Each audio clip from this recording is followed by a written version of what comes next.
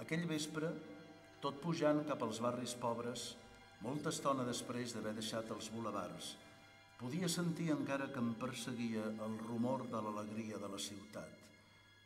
I mentre passava per davant de finestres amb els porticons tancats, potser a causa de la meva fatiga, no aconseguia separar el sofriment que continuava darrere aquells porticons de l'alegria que omplia els carrers una mica més lluny.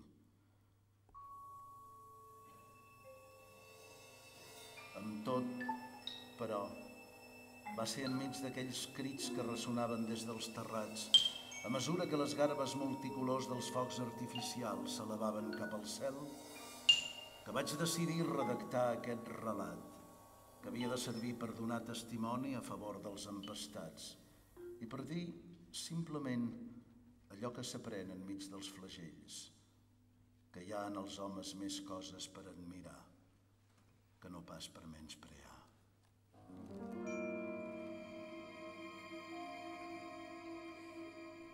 Jo sabia, però, que aquesta crònica no podia pas ser la d'una victòria definitiva. I mentre sentia els crits d'alegria que pujaven de la ciutat, em recordava que aquesta alegria està sempre amenaçada. Perquè jo sabia el que la multitud ignorava.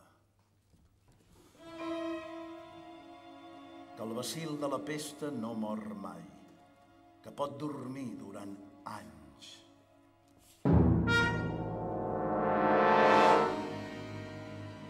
I que podria tornar el dia que per desgràcia i escarment dels homes la pesta despertés les seves rates i les enviés a morir a una ciutat feliç.